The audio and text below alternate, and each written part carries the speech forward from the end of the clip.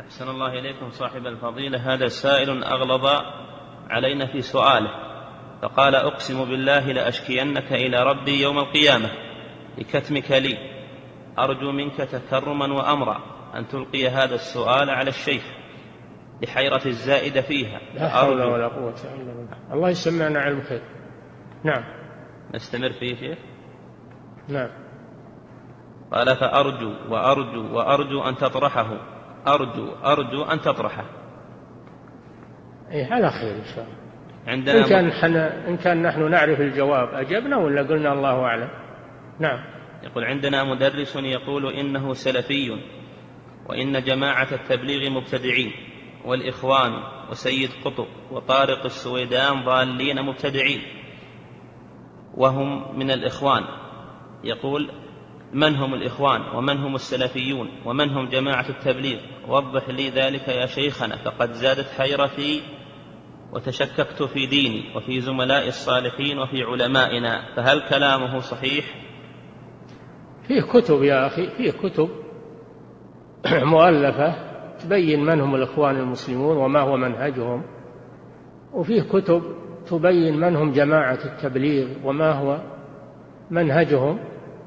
اطلبها من من الأسواق واقرأها وتعرفهم إن شاء الله تعالى. تعرف من هم جماعة التبليغ وما هو منهجهم وتعرف من هم الإخوان المسلمون وما هو منهجهم.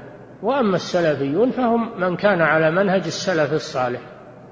من كان على منهج السلف الصالح يقال له سلفي على منهجهم حقيقة ما هو ما هو بانتساب فقط أو ادعاء. وإنما على منهجهم حقيقة. هذا هو السلفي نعم. فيه كتب معينة نعم. فيه كتب عن التبليغيين. كتاب لمحمد أسلم رحمه الله الداعية الباكستاني. وكتاب لتقي الدين الهلالي المغربي. وكتاب للشيخ حمود بن عبد الله التويجري رحمه الله عن جماعة التبليغ ومنهجهم مكتوب عنهم كتابات. الإخوان المسلمون أيضا عنهم كتابات بينت منهجهم منها كتبهم هم. اقرأ من كتبهم وتعرف دعوتهم ومنهجهم وما هم عليه. كتب البنا مذكراته. كتب سيد قطب وخصوصا معالم في الطريق.